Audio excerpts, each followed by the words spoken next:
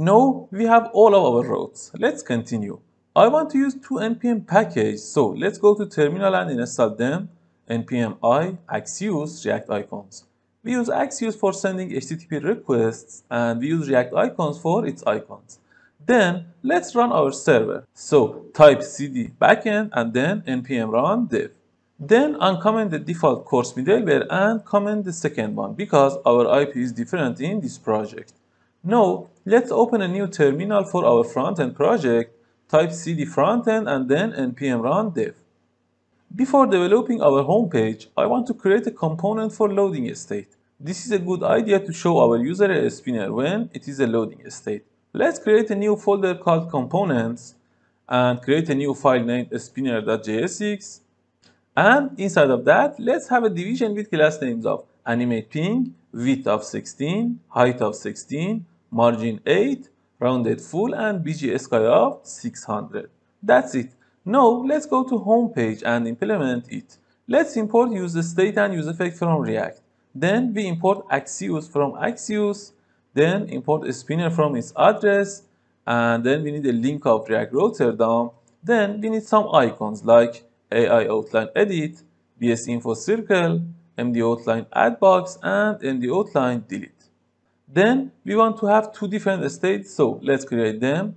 One state for our books with default value of an empty array, then a loading state with default value of false. Then we need use effect to call our backend. I don't talk about use state and use effect because I assume that you are familiar with basic React. Let's create a use effect with an empty dependency array in that, first let's use set loading to true, then call axios.get with our backend route for books list. Then we receive response and set books to response.data.data and then set loading to false. Response.data is the object of our response result and in that we had count and data. So we use this data to save it on our state.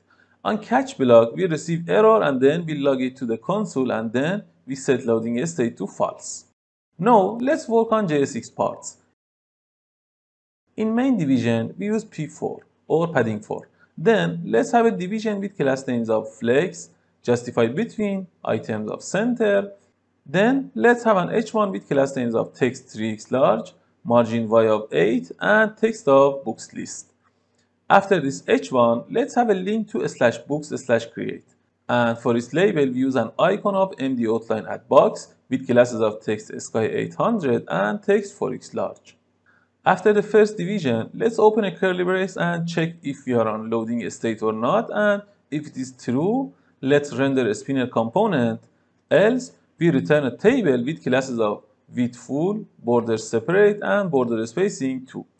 In that, we must have a t-head and a t-body. In t-head, let's have a t-row. And in that, I want to have a TD with classes of border, border slate 600, rounded MD, and text of no. Then let's have another TH with same classes and text of title. Then again another TH with text of author, but with an additional class of max MD hidden, so that this column would be hidden in mobile and tablet sizes. And again another TH with same classes with title of publisher, Finally, let's have a th with title of operations, but for this one, I don't use max MD of hidden. So we have five columns and two of them would be hidden for lower sizes. Then let's open a curly brace and use books.map with an arrow function. We receive book and index for each item of books array and we return a tr with key of book.underline id and class name of height 8. First item is a td with class names of border, border slate 700, rounded MD and text center and for its text we open a curly brace to use index plus 1 because index starts from 0 but we need to start from 1. Then let's have another TD with same classes and text of book title. Then another TD with title of book.author but for this one we use max MD of hidden like the top section. Then let's have another TD with book.publisher and again with max MD of hidden and finally, another TD for our operations. In the final TD, I use a division with class names of flex, justify center, gap x of 4, And in this division, I want to have three different links with icons. Let's create a link to a slash books a slash details a slash book dot underline i. I'm using this syntax to create dynamic routes. Inside this link, let's have a BS circle info with classes of text2x large, text green 800. Then another link to a slash books slash edit slash book dot underline id with edit icon and yellow color then final link to a slash books slash delete slash book dot underline id with delete icon and red color. Now let's format our document and then go to our application to see the result.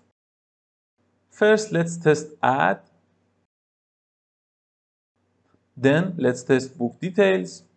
Then let's test book edit. Then test book delete. And you can see that they are all working fine.